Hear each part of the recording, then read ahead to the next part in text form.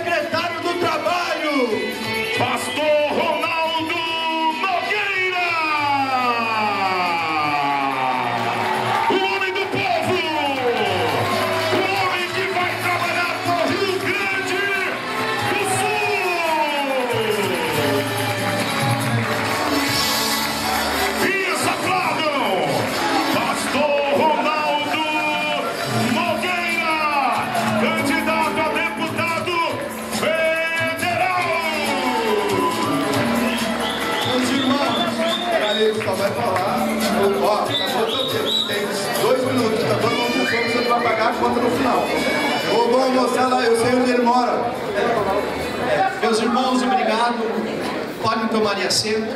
Eu vou procurar ser bem rápido e objetivo e dizer para vocês que é uma alegria enorme estar aqui.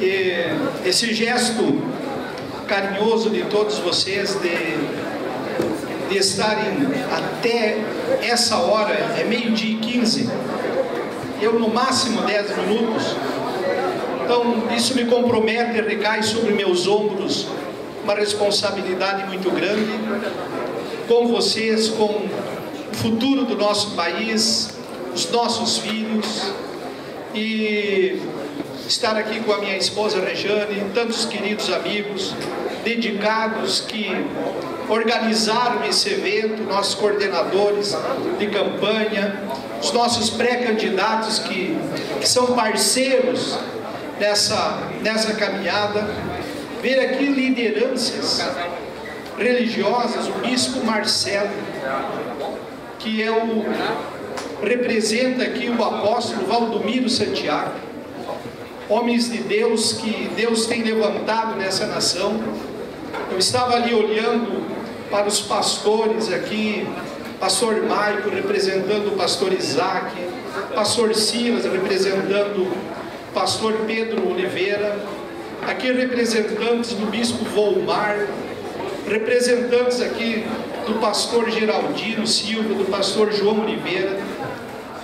Então, representantes aqui do pastor Isaías Figueiró, homens que Deus tem levantado. Então, realmente, Deus é muito bondoso comigo. E a bondade de Deus comigo se manifesta materializada através do carinho de vocês, através da perseverança de vocês estarem aqui. O desejo do meu coração, sinceramente, seria sentar com vocês, almoçar com vocês, mas tem um negócio aqui que não é uma dificuldade porque falta aquele negócio, tá? mas Deus vai fazer com que vocês sejam abençoados e muito prósperos, muito prósperos, e vocês estarem aqui, então isso me, me comove. Mas deixa eu dizer uma coisa para vocês. Nós fomos expulsos do paraíso. E fomos. O homem foi lançado numa terra que tem espinho, escorpião, serpente venenosa. E com o suor do rosto, nós ganhamos o nosso pão. A terra que o Senhor Deus nos dá, ela precisa ser conquistada através dos nossos esforços. E para conquistar essa terra, nós precisamos enfrentar feras e gigantes. E se quisermos, nós teremos do melhor da terra. Mas isso é se nós quisermos. Quando eu fui ministro do Trabalho em 2016, eu pensei assim: o Brasil, nós somos a quinta maior extensão territorial do mundo. Brasil é um país que tem estabilidade no clima, estabilidade no solo. O povo é um povo querido, um povo amável. uma terra que tudo produz. Aqui nós não enfrentamos catástrofes. E como é possível um país, lá na época, era 35 milhões de pessoas abaixo da faixa extrema de pobreza. Só, só um pouquinho, pessoal Ronaldo. Pessoal, vamos fazer um pouquinho de silêncio, que é importante que ele está falando, tá? Então, vamos fazer um pouquinho de silêncio. Vamos lá. Tá, eu já vou encerrar. Era 15 milhões de analfabetos, 40 milhões de pessoas na informalidade, 60 milhões de pessoas sem nenhuma atividade econômica, 17 milhões de desempregados, desesperados, procurando emprego e não tinha emprego. Dois anos de PIB negativo, 2015 3,6 negativo, 2000 e, e, e 2015 3,8 negativo, 2016 3,6 negativo, PIB negativo, desemprego acentuado. De cada 100 ações trabalhistas no mundo, 85 eram no Brasil. Dos empregos formais no Brasil, que 72% dos empregos formais no Brasil era micro e pequena empresa, o microempresário que paga aluguel, o filho dele estuda em escola pública. E o Brasil vivendo uma realidade de desemprego, de recessão, de recessão. E um país tão rico, não dá para aceitar tanta pobreza no meio de tanta riqueza.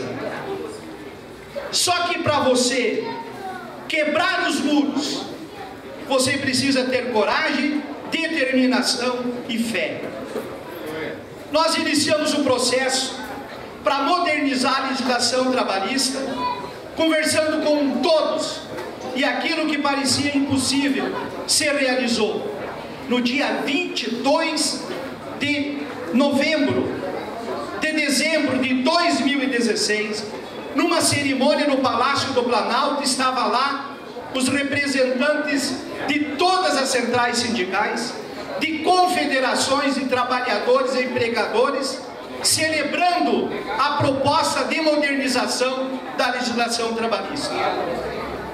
Até ali tudo festa, tudo em paz.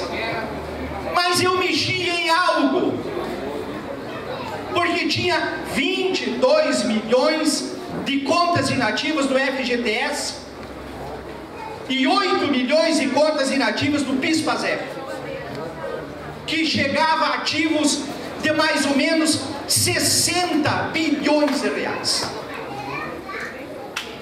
E esse dinheiro, os ativos do FGTS, era de 500 bilhões e rendia menos do que a poupança.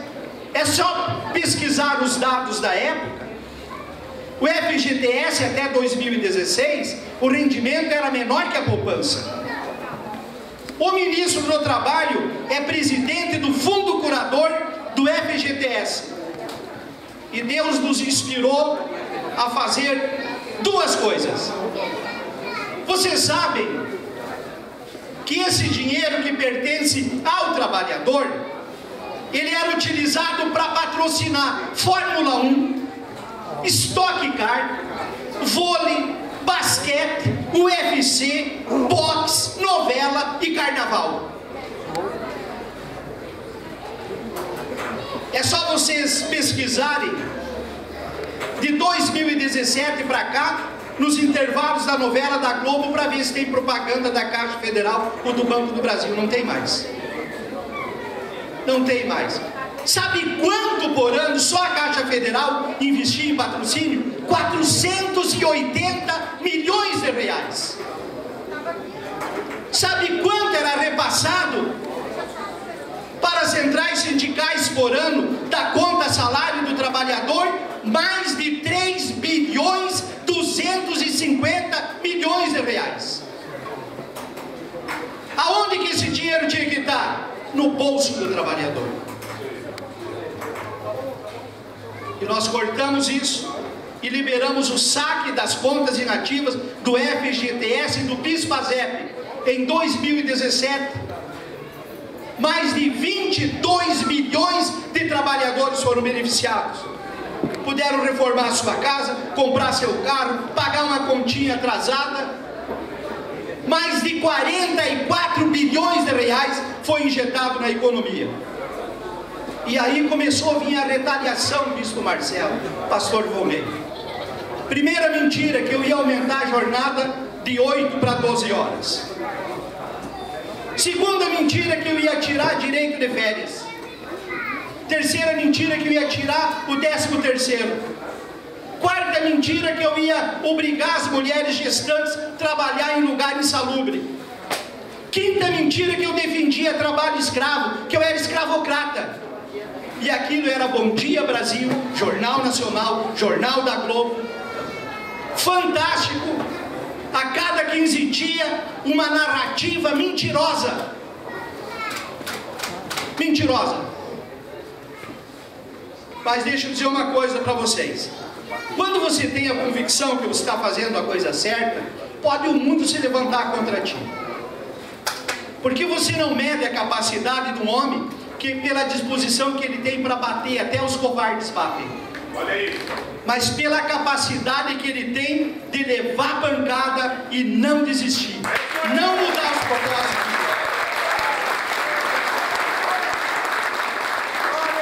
E o maior exemplo disso nosso Senhor, Jesus Cristo, para sempre, que era, que é e sempre será o nosso Senhor.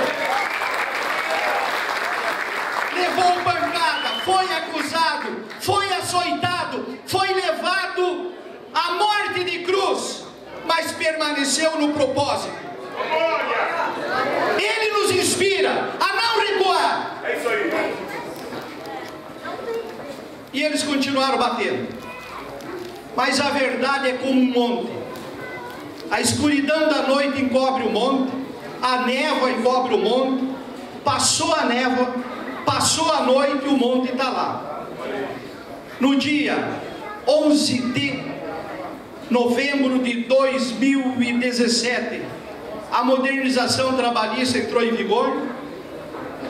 O trabalhador continuou recebendo o 13 terceiro continuou tendo as suas férias remuneradas, continuou tendo a jornada de trabalho 8 horas diárias e 44 semanal, tendo as suas horas extras pagas, e com avanços, o terceirizado, ele tem que usufruir do mesmo direito e o mesmo salário daqueles da mesma função da principal tomadora de serviços. Única questão que o trabalhador, facultativamente, se ele se acha representado pelo sindicato, ele contribui.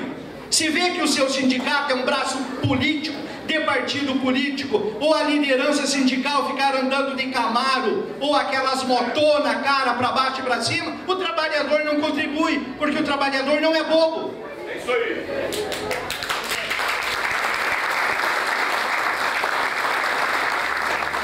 E nós fizemos o enfrentamento.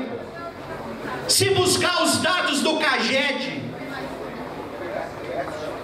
de abril de 2017 para cá, nunca mais os dados do CAGED apresentou saldo negativo, só positivo, mais de 4 milhões e 800 mil novos empregos foram gerados no Brasil e com direitos assegurados. E eu encerro aqui. Todo mês de agosto, quando eu vejo a Globo ter que noticiar a rentabilidade das contas do FGTS rendeu o dobro do que a poupança. E foi distribuído na conta dos trabalhadores cotistas do FGTS mais de 13 bilhões e 800 milhões de reais. É lógico que eles nunca vão dizer quem fez isso, mas não precisa mesmo. O importante é que o trabalhador é beneficiado. E outra coisa para encerrar. Eu não mexi em aposentadoria de ninguém. É verdade. Eu defendo um outro modelo de previdência social. Eu sempre lutei contra o fator previdenciário, sempre lutei contra a idade mínima de 65 anos. Eu sempre estive ao lado daqueles que mais precisam. E é por isso que Deus nos dá coragem e nos dá determinação para continuar. Meus irmãos, eu encerro aqui. Presidente Jair Bolsonaro. Olha aí! Governador do estado, Onyx Lorenzoni. Vocês viram aqui, nosso irmão. Serve o mesmo Deus que uma servirmos. Ora como nós. Professa a mesma fé. Faz culto doméstico em casa. Senador, o general Hamilton Mourão.